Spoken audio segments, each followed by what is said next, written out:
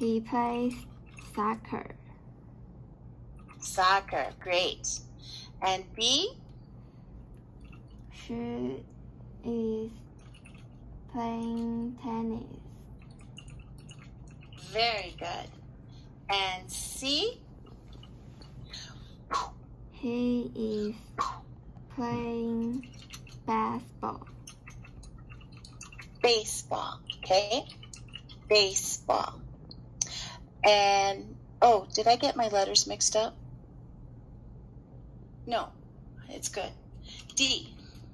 She is playing golf. Very good. And E. He is playing basketball. Excellent. Well, you know your sports. That's for sure.